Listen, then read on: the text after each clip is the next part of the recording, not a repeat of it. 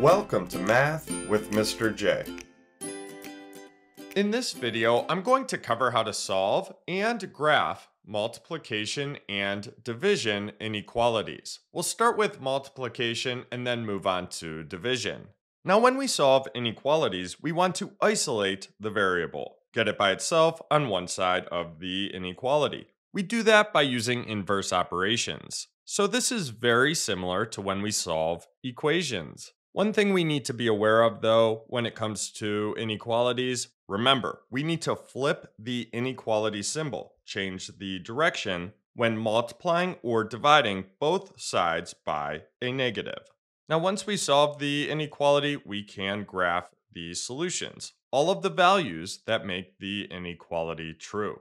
Let's jump into number one, where we have 5y is less than 40. 5 times y is less than 40. So we are multiplying y by 5. We need the inverse operation of multiplication. That's division. So let's divide the left side of the inequality by 5.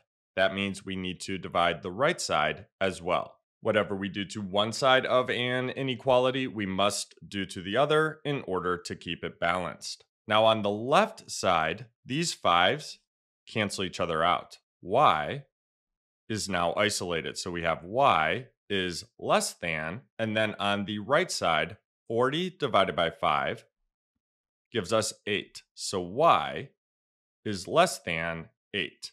And that's our answer. So any value less than 8 is a solution of this inequality. It will make it true.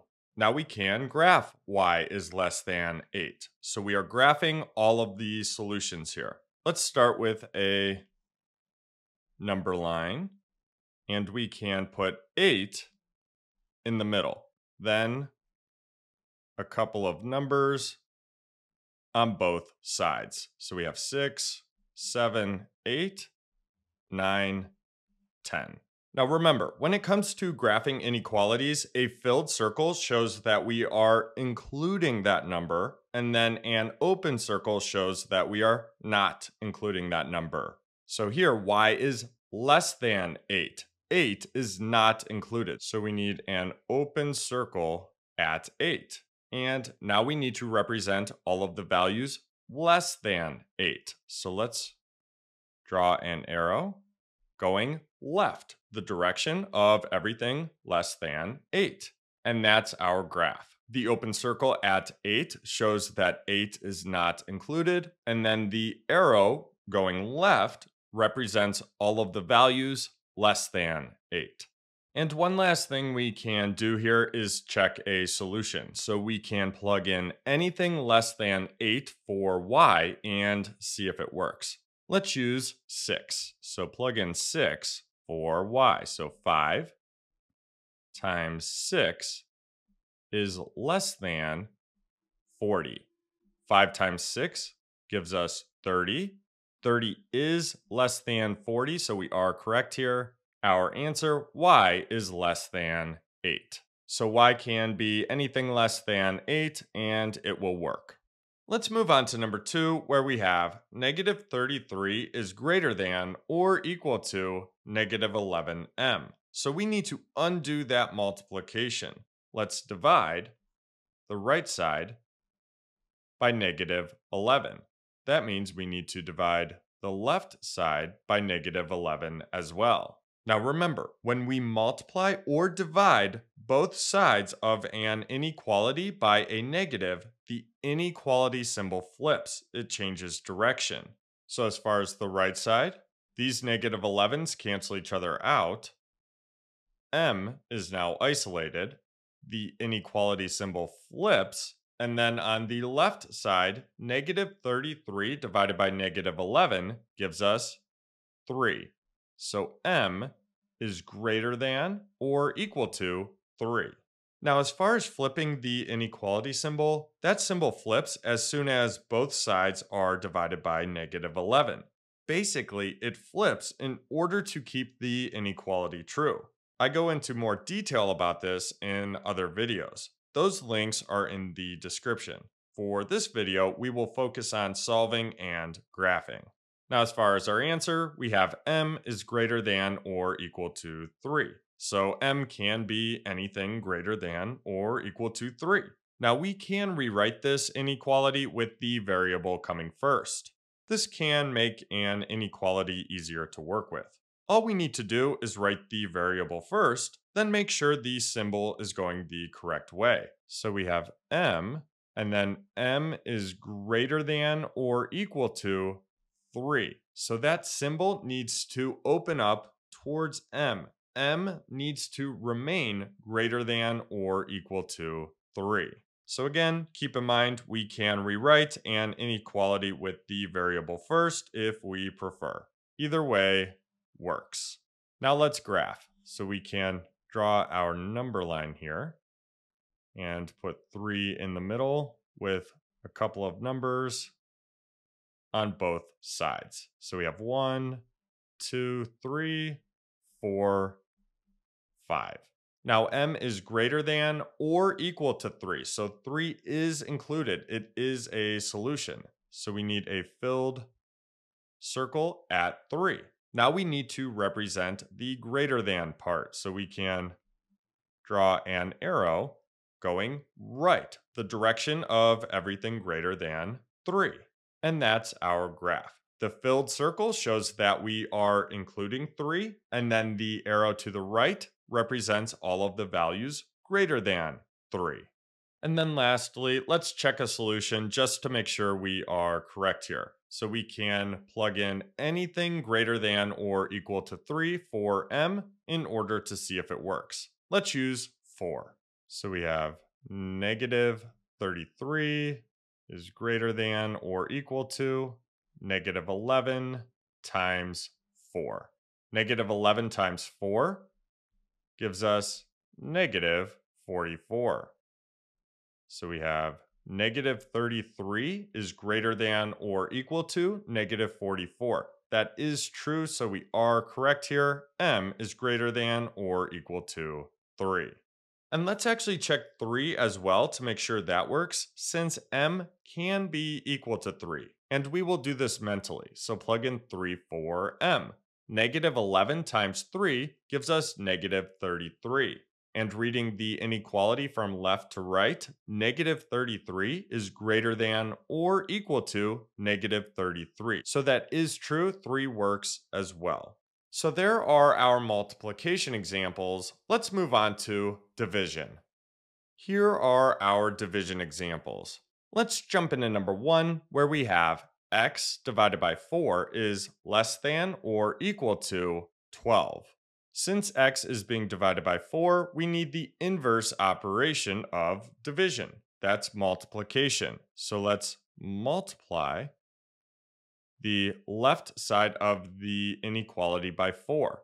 Whatever we do to one side of an inequality, we must do to the other. So multiply the right side by 4 as well. Now on the left, these 4's cancel each other out. x is now isolated. So we have x is less than or equal to. And then on the right side, 12 times 4 gives us 48. So x is less than or equal to 48. That's our answer. So any value less than or equal to 48 is a solution of this inequality. It will make it true. And now we're ready to graph this. So we can start with a number line and we will put 48 in the middle and then a couple of numbers on both sides. So we have 46, 47, 48, 49, 50.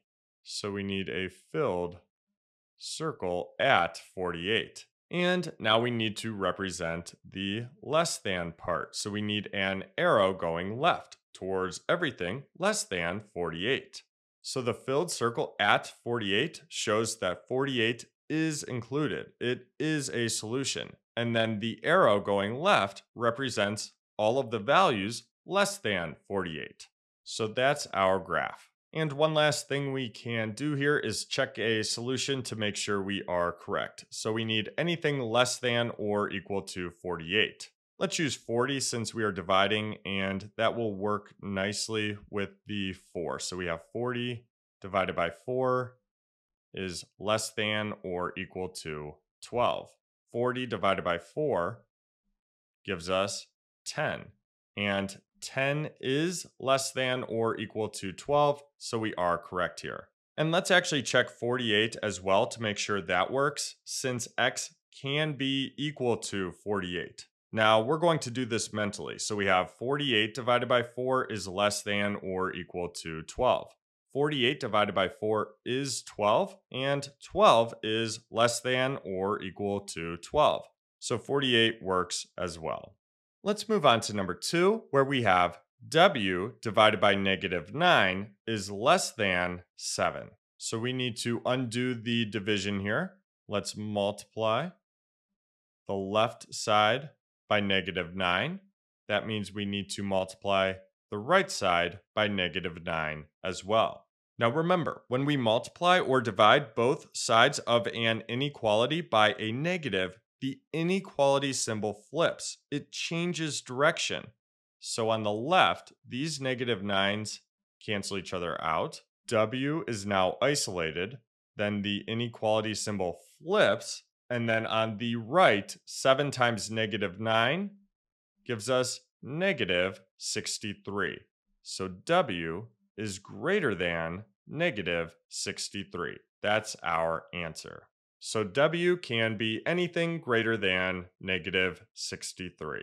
Now, as far as flipping the inequality symbol, that symbol flips as soon as both sides are multiplied by negative 9.